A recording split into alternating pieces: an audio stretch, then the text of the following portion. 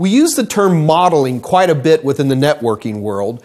And in order to understand why we use the word modeling, I'd like to take a minute and discuss what is a model. So up here on the screen, I've got three examples of models. On the far left, I've got a weather forecasting model.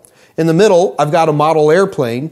And on the far right, I have an incredibly attractive male model. That's my buddy Ford Pearson. Anyway, all three of these are models but obviously they're quite different. So, what is the theme that ties these three otherwise very different things into the term model? Well, first of all, it's representation. Whether a model of weather, of an airplane, or of a person, these represent, in some aspects, a fairly idealized idea of what the real McCoy is. For example, the model airplane in the middle doesn't have oil stains all over it and things like that, so it's a bit idealized.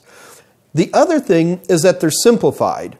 Uh, on the far left, the weather model doesn't put into every molecule for its consideration. And the far right hand side, we don't worry about the fact that Ford actually has a bad cold that day. We're really worried about the simplified processes that allow us to represent the form and function of the real McCoy. And that's what networking models are all about. There are two networking models on the Network Plus. There is the OSI seven layer model, and then there's the TCP IP model.